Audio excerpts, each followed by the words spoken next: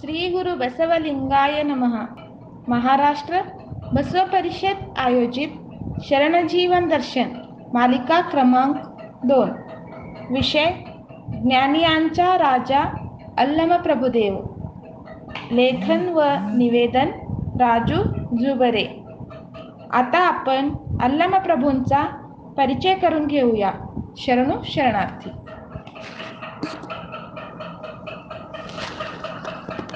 ओम श्री गुरु बसवलिंगाय नमः. जागतिक तत्वज्ञ महानुभावी संत महात्म्यांच्या मांदियाळीतील एक अग्रगण्य नाव म्हणजे अल्लम प्रभू. बाराव्या शतकात महात्मा बसवण्णांच्या नेतृत्वाखाली निर्माण झालेल्या शरण आंदोलनातील एक प्रमुख शिलेदार. बसवादी शरणांच्या नवधर्म सिद्धांतास परिपक्वता सुदृढता आणि तात्विक अधिष्ठान बहाल करून नवा आयाम देणारा महाज्ञानी ज्ञानी यांचा राजाच. कर्नाटक राज्यातील शिवमोग्गा जिल्हा निसर्ग सौंदर्याने बहरलेले नंदनवन. अशा शिवमोग्गा जिल्ह्यातील शिकारीपूर तालुक्यातील बळीगावी येथे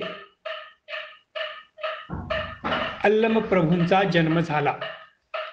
सुज्ञानी आणि निरहंकार या दाम्पत्यांच्या पोटी अल्लम प्रभूंचा जन्म झाला.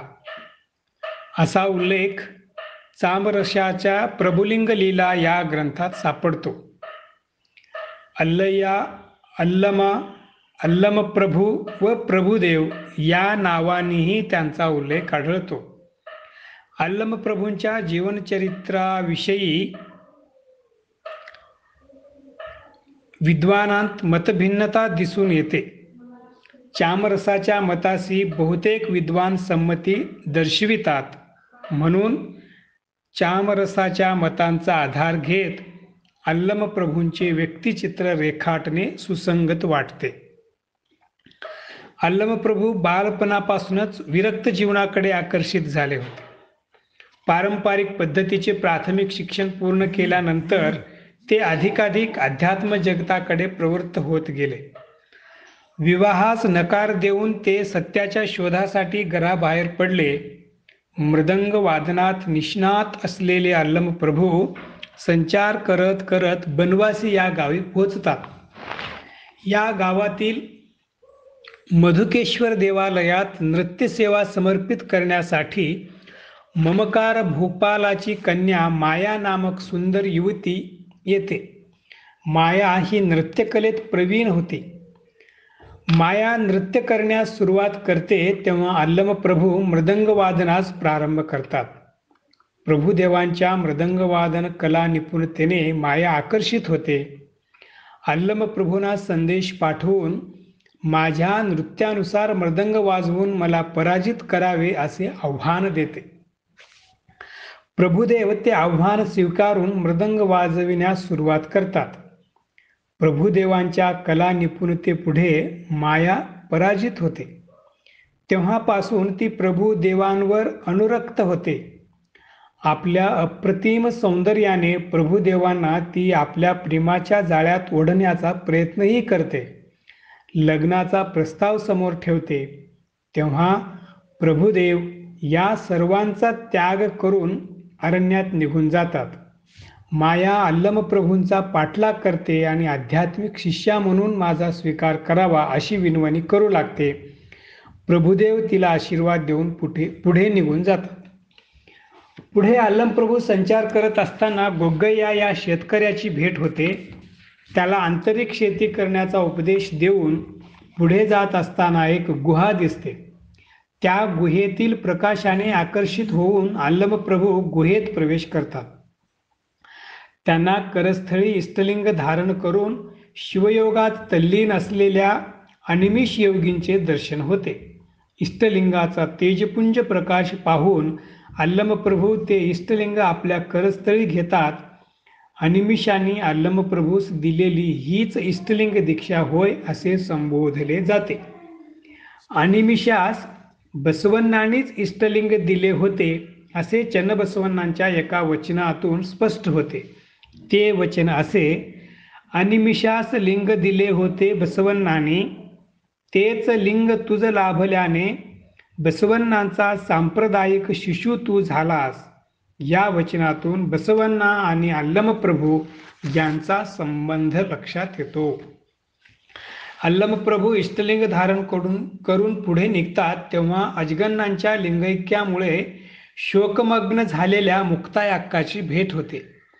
मुक्तायाक्का शोकमुक्त होण्याचा उपदेश देऊन प्रभुदेव कल्याणला येत असताना सोलापूरच्या सिद्धरामांची भेट घेतात.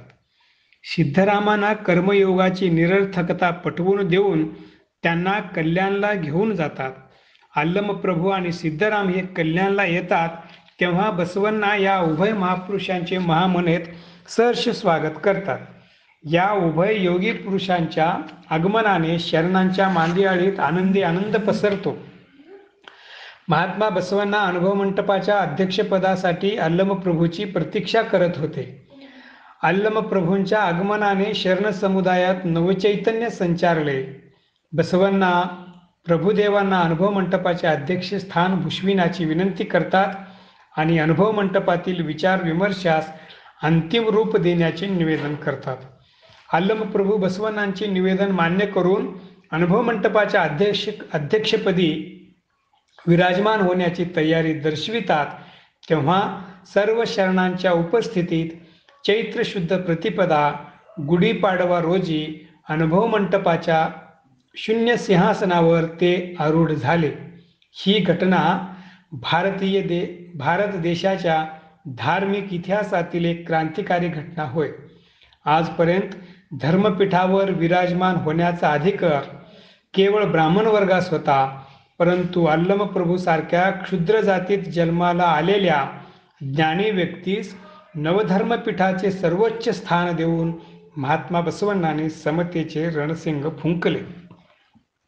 अल्लमप्रभूच्या ज्ञानाधिकाराने अनुभव मंटपातील तात्विक चर्चेस नवा आयाम मिळाला.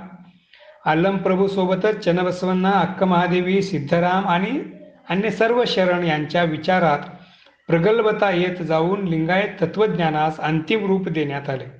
अनुभव मंटपातील प्रत्येक विचार चिंतन मंथन होऊन ते शब्दबद्ध करण्याचा रचनात्मक उपक्रम राबविण्यात आला. याचेच फलस्वरूप म्हणजे आज आमच्या हाती असलेले वचन साहित्य होय. अल्लम प्रभू हे महान वचनकार प्रतिभासंपन्न कवी. अल्लम प्रभूंनी एकशे साठ कोटी वचनरचना केल्याचा उल्लेख त्यांच्यासह शिवयोगी सिद्धरामेश्वर आणि अन्य शरणांच्या वचनांत आढळतो. परंतु सद्यस्थितीत कर्नाटक सरकारने प्रकाशित केलेल्या समग्र वचन संपुट दोन मध्ये त्यांची सोळाशे पंचेचाळीस वचने उपलब्ध आहेत.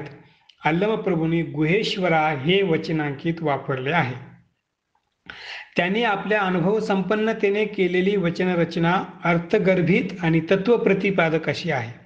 बहुतांश वचनरचना आध्यात्मिक अंगाने विकसित होत गेली आहे. त्यास सामाजिक आशयाचेही वलय लाभले आहे. अल्लम प्रभूंच्या वचनातील उपमा रूपक व अलंकाराने अप्रतिम काव्य सौंदर्याचा आविष्कार घडवून आला आहे. अल्लम प्रभूच्या समग्र वचनांतील बरीचशी वचने बेडगिन वचने आहेत. बेडगू या कन्नड शब्दाचा अर्थ रहस्यमय गूढ कूट रचना होय. बेडगू म्हणजे सुंदरता स्वच्छता असाही अर्थ सांगतात. बेडगू म्हणजे गूढ कूट रचना करताना सांकेतिक भाषेचा वापर केला जातो.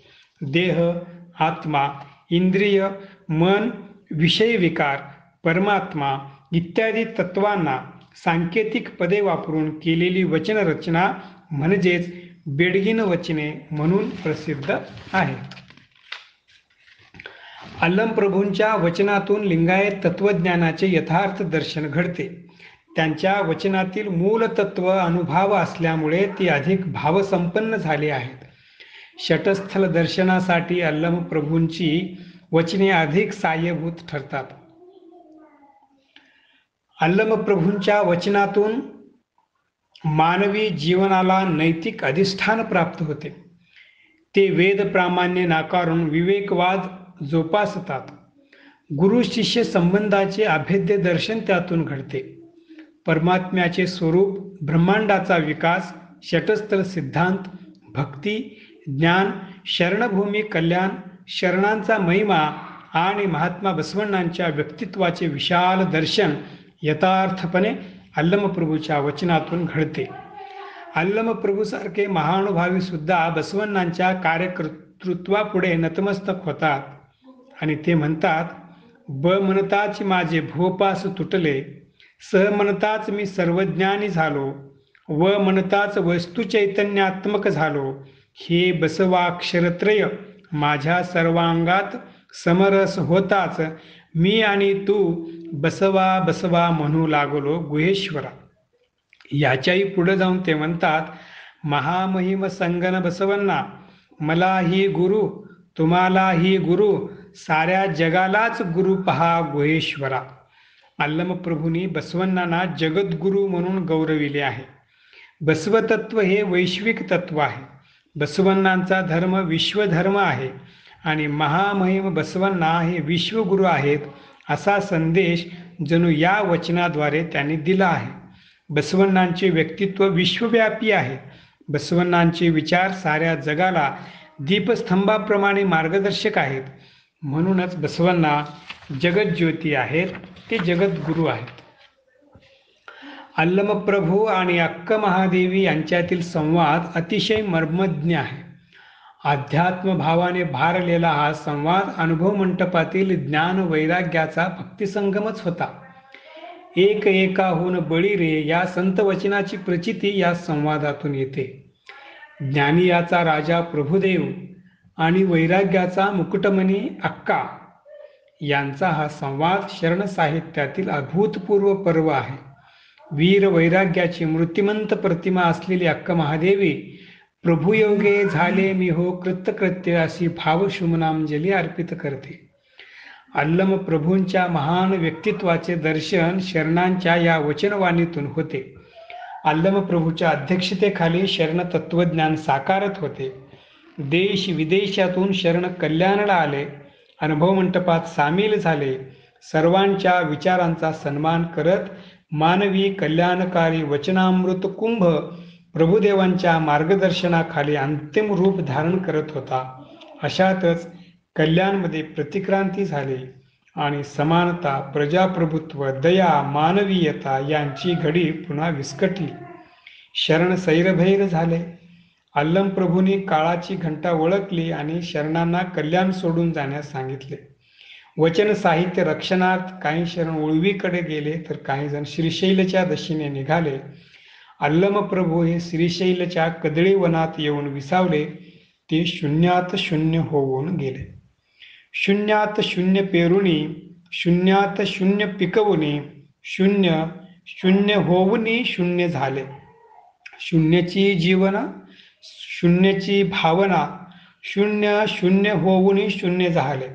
पुन्हा पूजिले जयानी ते आधीच शून्य झाले. मी विश्वासुनी तुम्हावर शून्य झालो गुहेश्वरा शरण शरणार्थी.